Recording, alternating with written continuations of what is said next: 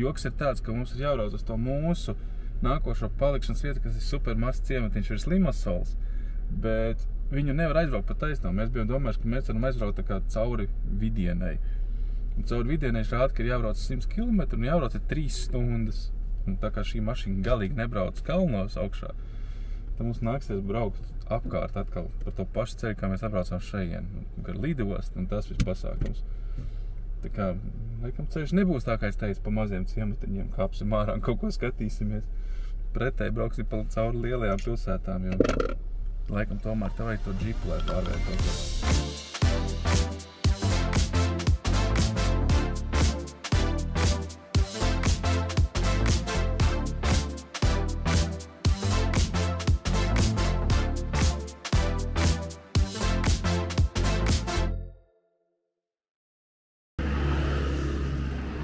Jā, kamēr sezona beigusies, nezinu, testāvu piemēram, vienkārši pikaps iedzīts iekšā. Kaut gan agrāk tas ir bijis kaut kāds restorāns. Viņš saucies ir Lemon Gardens, tāpēc ka mēs stāvam tieši zem citronu koka. Nezinu, kaut kur Alice sameklē, ka šeit ir jāēd. Te ir tāds fancy kokteils un tapas, bet te, protams, ka nekas nestrādā. Jo nav tāds cilvēku.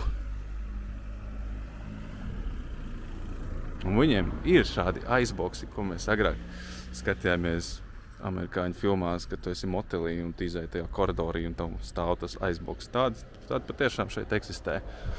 Man liekas, tas ir kaut kāds tikai mīts no Amerikas. Bet kāpēc vajag tik daudz pick-upus visur, es īsti nezinu. Tie arī ir turisti. Tā tik nāc no šejienes, viņi tā kaut kur te ir ēst. Ka citronu koki tev vienkārši tāpatās. Es jau nevaru beigt par to runāt, vienkārši es saprotu, mētājies stafiņš. Nav jau tā kā kastaņi te mētātos. Es iekšā galdiņi saklāti, tādi ir tur šķīvīts, dakšiņa un balts galdauts. Mēs, mēs gribam morās sēdēt, tu jūs kopā paskaties, kā te. Saucās kaut kāds herbs restorāns, jā. Herb Garden, jo šeit ir viņiem pašiem savs dārs, kur tu arī to visu var iegādāties. Please keep the garden clean. Organic herbs and essential oils from our garden for sale. Visit our shop inside. Cool. Un te tev ir tā kā neliels botāniskais dārs. Atbalsta freekārt.lv, logotipu izstrāde, iepakojuma dizains, produktu foto, video un sociāli tīkli. Tā jautājums, kāpēc tev ir rīsi un frī? Tad tu pasūtīji, oriģināli ir tāda gaļa ar tādiem kartupeļiem, pasties bildītē. Tas nosaukums. kāpēc tu ir- paprasīji rīsas tev papildus? Nē, nu es to, ka es redzēju vizuāli, kad ir līdzīgi tā kā mums gulašs. Jā. Kartupeļi tādu- super garšīgi. Tas ir viņa tradicionālais kaut kāds ēdiens. Jā, tas ir kipriešu tradicionālais. Indrai nav kipriešu tradicionālais, viņa ir grilēta vista un kartupelis. Redzi tāds kartupelis tajā mundierī. Un man ir uh, kebabs. Es reāli es nevaru saprast, ka tu pasūti visas kebabu vienā vietā un sastūts atnesa. Ah, kaut kā viņš arī bija maizē, tā kā šašliks. Un kā brīžā liekas, ka atnesīs tev kebabu gaļu, kā mēs pērkam, ka tas ir tāda gaļa. Nē, nē. Bet tas ir gyro īstenībā. Šis ir, es jums pateikt, tas ir kanēli. Ugh, Speciāli ņēmu. fui. Kāpēc? Vai? Es nezinu, vien. Iedomā pašu mazāko gabaliņu pagaršot. Ok, garšīgi. Ja tev patika video, saspiežam zem viņa īkšķīšas, un kad būs saspiesti 500, tad es ielikšu jau nākošo epizodi.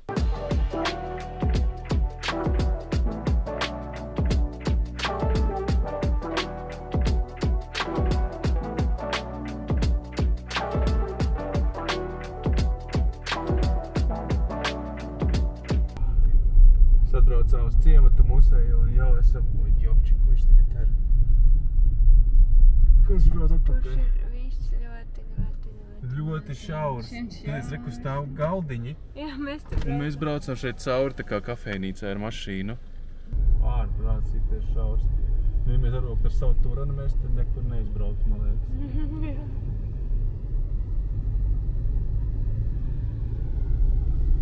ļoti, ļoti šaurs mašīnas platumā viss ir. Labais. Ir īstais? Ok, tad tu baigā ātri atradām. Tā, viņi teica, give, give Dora good push, tāpēc, ka mums ir winter. Oh. Wow! Viņš ir tā kā vairākos stāvos? What? Jo mēs ņēmām. Ir labs? Jā, nu mēs ņēmām, tāpēc, ka izskatījās baigi forši. Nu, gaismas tas ir problēma šeit visur.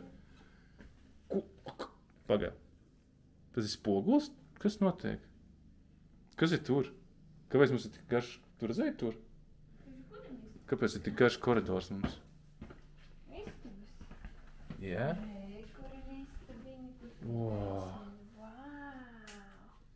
Super! Ļoti seksīgi. Mēs visur ņēmām ar ārā dārzu, lai Hanna var dzīvoties. Plus, pasties, kas mums pa lielu izturīju. Check this shit out! Wow!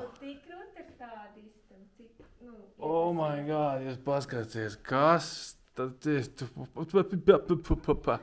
Redzi, kā var atvērt šeit. Un es izkāpu pa logu ārā. Nu, nu, super. Un kāpēc viņiem nav grils? Viņiem prasīja, nē, mums nav grils, tad tu mierīgi varētu grillēt savus grāmatu. Jep, jep, jep. Mazā ciemata biblioteka, kurā var dzirdēt, ka putniņi dzīvo iekšā. O, cik te nais ir. Tā ideja tā kā viss arī. Ah, jā, putniņš kurš. Labi. Paņem jau kuru grāmatu, kuru gribi. Un noliec kādu vietā.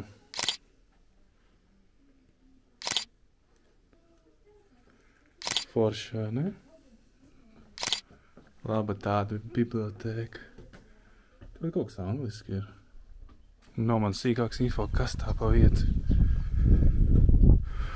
Kaut kāds Michael Owen galerija, bet tu pasties, cik tas super.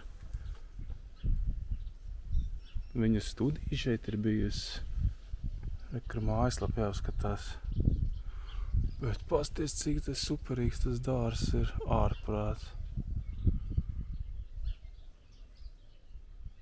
Šausmas.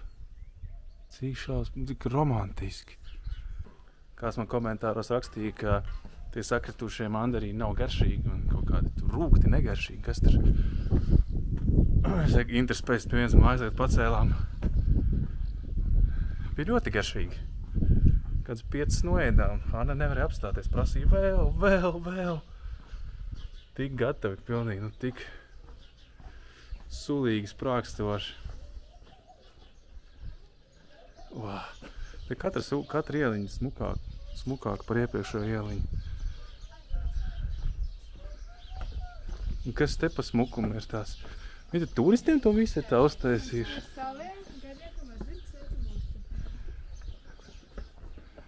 Cik te foršas tās ieliņas ir?